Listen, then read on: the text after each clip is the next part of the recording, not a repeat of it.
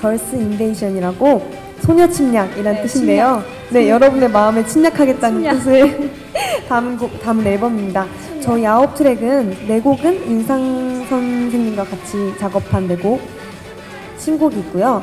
그리고 세, 네 곡은 베이비소울 언니랑 지애 언니랑 진 언니의 디지털 싱글 앨범 담겨 있고 한 곡은 인트로 곡이 있어요. 저희 앨범에 여러 장르의 음악이 많이 있기 때문에 여러분이 들으시면 절대 지루하지 않으실 거예요. 그래서 저희 앨범 많이 많이 찾아 들어주세요. 감사합니다. 꼭 들어주세요.